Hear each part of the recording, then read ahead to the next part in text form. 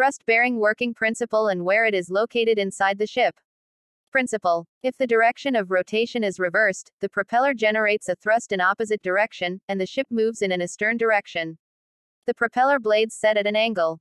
The after the end of the ship, water ahead of the propeller blade and the ship in front affect the water flow over the propeller blades. The shape of the blade is like an aerofoil which increases the velocity of water at the top of the blade. This reduces the pressure at the back and exerts greater pressure on the front face of the propeller. This pressure difference generates a force perpendicular MHGC to the blade. The axial component OFL the force exerts thrust on the propeller shaft. Thrust block mounted on the shaft transmits the thrust to the ship's hull. Operation. The casing of the independent thrust block is in two halves, and fitted bolts join the halves. Thrust pads, which pivot around the thrust collar surface carry the thrust load. The pads are mounted in holders and coated with white metal. An oil deflector deflects the oil fitted by the thrust collar and directs the oil onto the top cover. Oil from the top cover cascades over the thrust pads, bearings and fall back to the sump. The top cover acts as a pad stop. The thrust shaft transmits the thrust onto the thrust collar. Hydrodynamic fluid film wedges separate the thrust pads and thrust collar. The thrust pad transmits thrust to the lower half of the casing. The lower half of the casing is connected to the ship's hull. The ship moves when the thrust is transferred to the ship's hull. Construction and working. At the aft portion of the ship we have a propeller and then a propeller shaft which comes inside the ship through the stern tube bearing. There is an intermediate shaft that connects the propeller shaft and crankshaft. To support the intermediate shaft there is an intermediate shaft bearing. The aft portion of the main engine, we can see the thrust bearing and it is an integral part of the main engine. After the thrust bearing, there is a crankshaft which is supported by the main bearing, Main bearing and thrust bearing are supported by the main engine bed plate which is bolted down to the ship's hull. The intermediate shaft bearing is also bolted down to the ship's hull hand stern tube bearing forms a part of the aft peak bulkhead. As the propeller rotates it creates the thrust which is called propeller thrust, which is taken up by the propeller shaft and is passed onto the intermediate shaft. This happens because the propeller shaft and the intermediate shaft are connected together and the thrust is further avoided by the thrust block.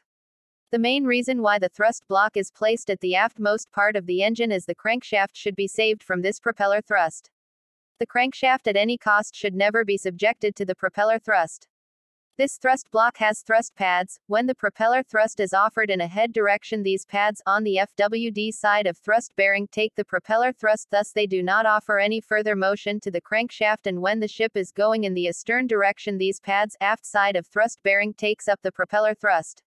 So thrust pads absorb the propeller thrust and since the thrust pads are located inside the thrust block which is bolted to the main engine bed plate through the holding down bolts are bolted to the ship's hull the ship starts to move. Location. To know where must be the thrust block should be located, first, we need to know about nodes and antinodes. Node. It is a fixed point where the amplitude of vibration is minimum or zero. Antinode. It is the opposite if the node and has a maximum. Amplitude of vibration. It occurs between two nodes. So the thrust block must always be placed at the nodes, not at the antinodes. Thrust block can be placed at any of the nodal points along the shafting system.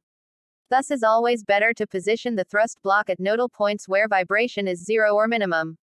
Thus the thrust blocks are fitted within the engine or outside the engine at the immediate nodal points at the end of the crankshaft. The chain or gear drive for the camshaft is located at the nodes or near nodal points. If the drive is taken from the nodal point, the turning moment is even. This is desirable as this will prevent any undue stress from being developed in the chain drive or gear drive system. Where to fit dampers and detuners. We can see the vibration curve in the diagram with a red line. The thrust block is located at the node or near nodal point. In the same manner, the vibration curve raises and the damper is fitted at the antinode or near the antinodal point. If the detuners and the dampers are fitted at nodes, they will not function effectively as the amplitude of vibration is minimum or zero. If they are fitted at the antinodes, then they will function effectively. But it is not practically possible to fit exactly at antinodes, and thus often fitted at the forward end of the engine. Why can't the thrust block is located at the stern tube?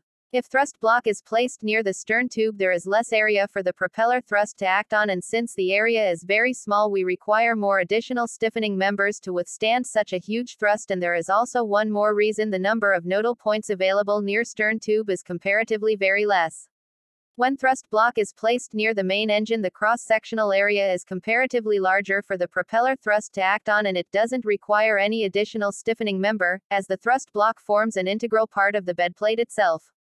The thrust force from the propeller when taken up by a thrust block, located near the stern tube, have a lesser area to distribute to the hull. The number of nodal points is fewer near the stern tube. The cross-sectional area of the ship near the main engine is large when compared the area near the stern tube.